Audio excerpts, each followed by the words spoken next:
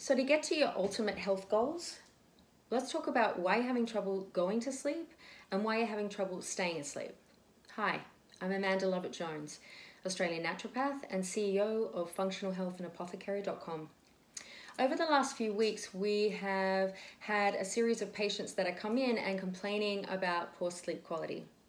There's a common demographic, usually the over the age of 35 to 60, and they're experiencing difficulty either trying to get to sleep, it's taking between 45 um, over 45 minutes to over an hour to get to sleep, and they're having trouble staying asleep. So they're either, either waking up several times in the night or they're just very, very restless and having just poor sleep quality. So I thought this was a really good um, time to discuss the five most common factors that can impact sleep quality. Number one is stress. This can't be such a surprise to you. Over the last 12 months to 18 months, it has been the most globally, physically, and psychologically stressful time and period, so it's understandable. However, if you are still, if your body is still producing all these stress hormones, you're getting a sustained release of both cortisol and adrenaline. These are important hormones. They're there for a fight or flight response. They're there to keep us safe. They're there to acknowledge danger. However, if they're sustained and they're never disengaged, then the body cannot rest. The mind cannot rest. And common symptoms of stress, and people usually know if their causative factor for poor sleep quality is stress, is a monkey mind. Your brain just does not switch off. That can be your nervous system is just frazzled and you just think and think and think and think. Another thing, if you are experiencing physical stress, would be uh, restless leg syndrome, could be um, getting up multiple times or just moving a lot. Your partner might say that you just don't stop moving all night. Um, the second thing would be hormones. And this is, of course, more prominent with women who are over the age of 45 and are experiencing symptoms of perimenopause or menopause. Now, what happens here is your sleep can be disrupted due to um, low progesterone levels or a progesterone estrogen imbalance. Now, progesterone is a hormone that induces sleep. So, if you're not producing enough progesterone, this could, of course, cause um, irregular sleep patterns. Also, if you have imbalance in your hormones, you might have hot flashes or things that are keeping you up at night, either cold flashes or hot flashes. Cold flashes are less talked about, but they're even more real. There's a ton that you can do with that, and I highly recommend seeing a female reproductive specialist who could work with you and get your labs done of your hormone levels so that you understand where you're at in each phase of that um, new moon or new um, new chapter. The third thing that I want to talk about is chemical exposure. Now, you might be thinking of true like radiation. However, chemical exposure can be nicotine, can be caffeine, can be alcohol. It can also be a side effect of many prescription medications. Beta blockers and statins and thing actually can overstimulate or impact the nervous system so that you are not having good quality sleep.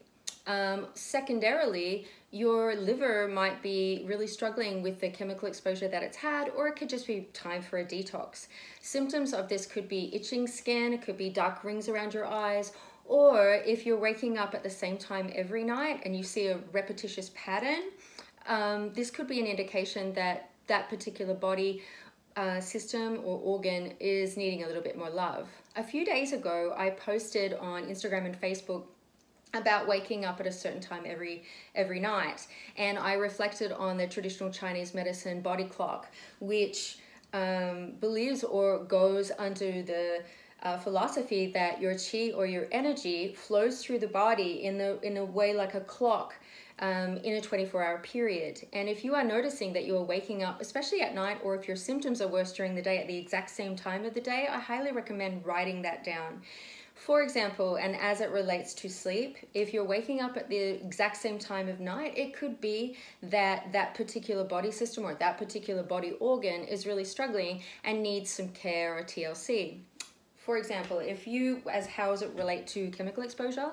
If you're waking up at 2.30 a.m. every morning or, or at night and you're noticing this consistently, that could be an indicator that your liver is requiring a little bit more love and you could improve in, or increase liver detoxification by increasing your antioxidant content. We're talking green tea, quercetin, resveratrol, vitamin C, vitamin D3. We um, can uh, support you and support healthy detoxification through milk thistle, dandelion root, rosemary, all these beautiful herbs, schizandra, which increases phase one and phase two liver detoxification.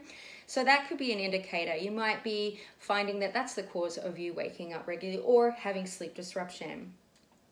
Um, and the last thing I want to talk about, so what did we do already? We did stress, we did hormones, we did chemicals, screen time. And I want to talk about screen time as it relates to teenagers as well. So if you are having a screen or having uh, a screen in bed and it's after 8 p.m., the increased light exposure can actually decrease natural release of melatonin. And melatonin, of course, is a hormone or, or a natural uh, neurotransmitter that regulates your sleep cycle if you are having light and regular light does suppress that which is why um, in uh, in the northern hemisphere in places like Alaska or Norway where in the summertime they're having 23 hours of of light many people who are not used to that have very have a really difficult time sleeping. It's the same with your phone.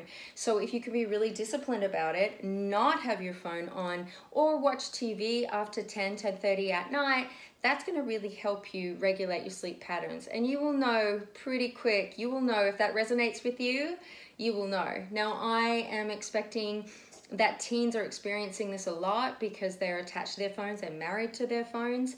So if you're finding that your, your teen is experiencing poor mood and poor sleep patterns, really addressing that um, screen time is important. And the last thing I want to talk about is your eating habits. If you are eating in bed, eating late at night, especially high sugary foods, we should never lay down flat to eat. We should never eat in bed. It really upsets um, your sleep and it's just not good for, good for your digestion. So that's an easy, relatively easy one to fix. Also, having sugar throughout the day can impact your sleep quality. So those are the five things that we can um, easily address. And if you're finding yourself struggling with sleep or having poor sleep quality, I would look at those five things first um, to get a better quality of sleep.